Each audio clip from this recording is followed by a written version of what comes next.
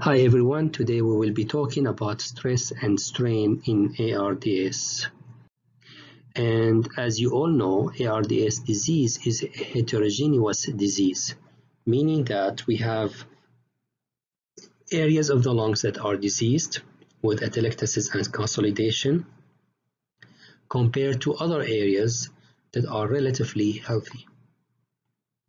And in inspiration, if you apply a pressure the air will preferentially uh, go to those healthier areas of the lungs because the pressure required to open this alveoli would be much less than the pressure required to open the diseased alveoli.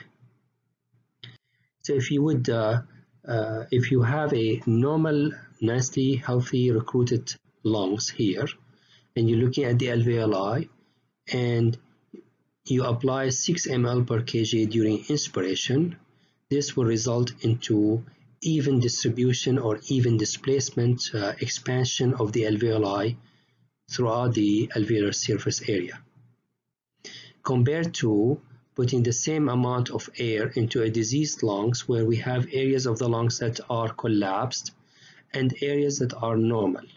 The air will preferentially go into the normal alveoli resulting into more expansion of this alveoli compared to the collapsed alveoli.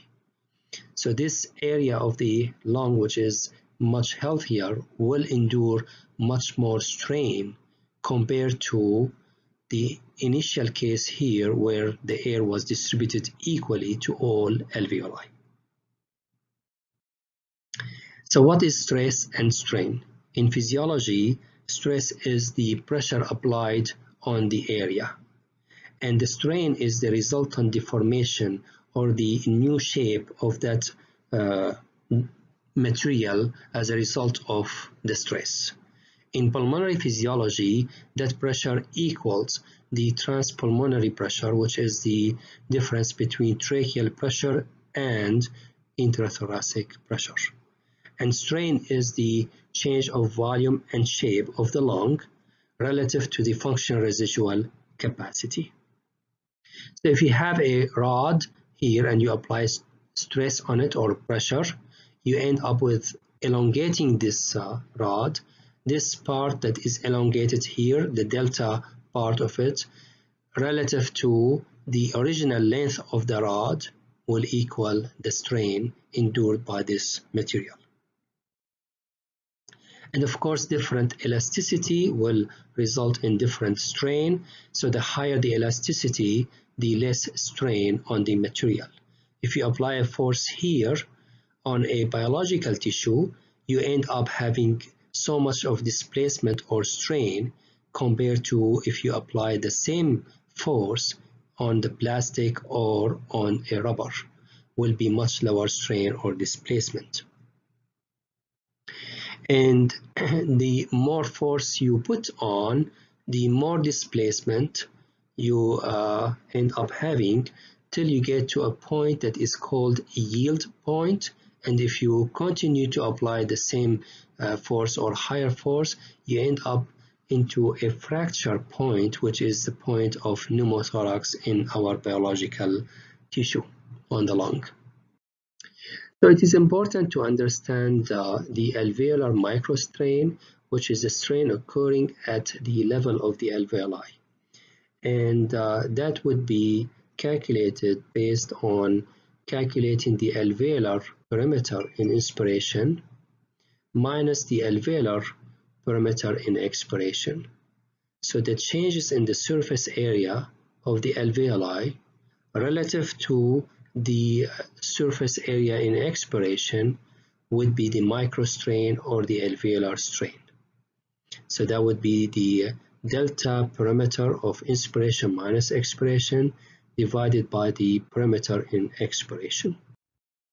So take a look on some videos uh, taken by the videoscope placed directly on the surface of the lung. On the left side we have a healthy lung and notice that with inspiration the alveoli are barely moving. The uh, alveolar space is slightly increased in inspiration compared to expiration. Thus, the strain at the level of alveoli is very minimal this normal lung. On the other hand, on the right side, we have a diseased lung. And notice the change in the surface area of the alveoli. A Huge expansion of the alveoli between and inspiration. It looks like these alveoli are almost exercising in every single breath, making the strain at the level of uh, the alveoli very high. So this is a very high strain compared to the strain of the normal alveoli. So to understand this further, uh, I think this study is uh, very nice in delineating this concept. The study was done by Dr. Kailash Singhul, published in the JAMA Surgical 2014, and was done in rats with uh, ARDS, where they looked at the airspace between expiration and inspiration with increasing PEEP level in low tidal volume ventilation. So if you take a look on the PEEP of 5, you would see cluster of alveoli here that are partially opened. Other alveoli are almost collapsed. There's good two open alveoli in the middle here. Notice what happens in inspiration. The air is preferentially distributed to this healthier alveoli and they are open much larger. Similarly, the two in the middle. Compared to those alveoli that were collapsed in expiration almost did not open at all during expiration. I'm sorry, during inspiration. Collapse in expiration did not open in inspiration. When you increase the PEEP, you would open some of these alveoli in expiration and then the airspace difference between inspiration and expiration is much lower. When you go up to PEEP of 16 and PEEP of 24, you would notice that you barely able to see any difference between expiration and inspiration at PEEP of 24.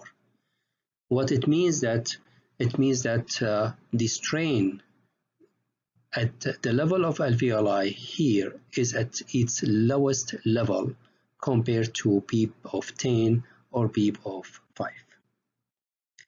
So this way, uh, when we talk about protective lung strategy, we talk about limited pressure, low tidal volume, appropriate PEEP to decrease heterogeneity, and low driving pressure. All this, what we would do on the lung is actually minimizing the strain at the alveolar level.